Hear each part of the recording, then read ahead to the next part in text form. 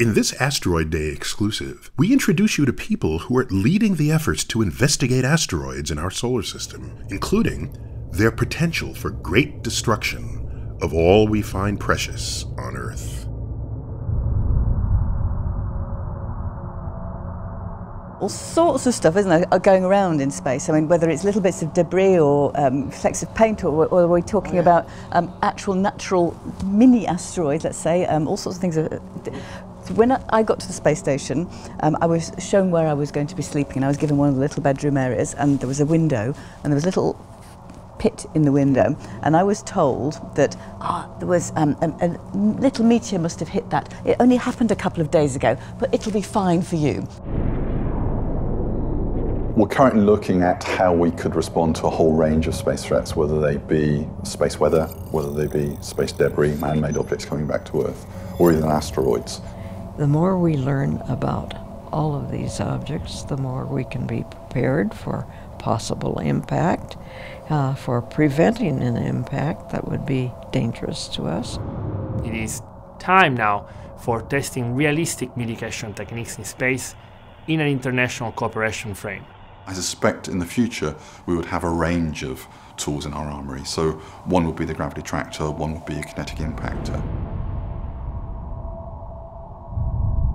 The gravitational tractor is a very elegant solution to, to this particular problem.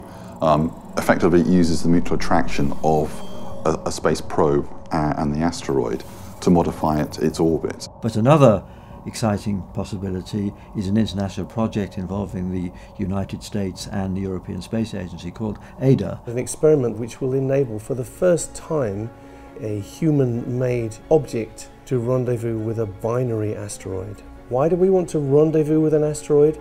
Well, we need to know what would happen if one of these asteroids hits the Earth.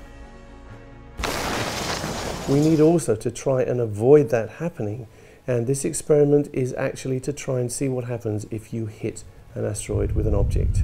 Using a technique called the kinetic impactor, so this is an AIDA mission. So when you want to interact with such a body in order to deflect it, it can be very tricky, like a 200 meter object has a very low gravity.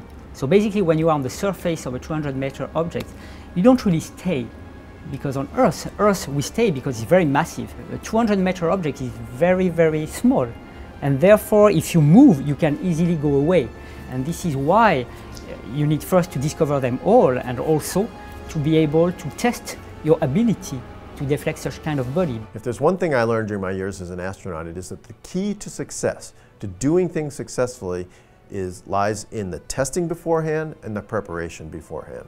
Because you don't really know what's going to go wrong until you've done something for real.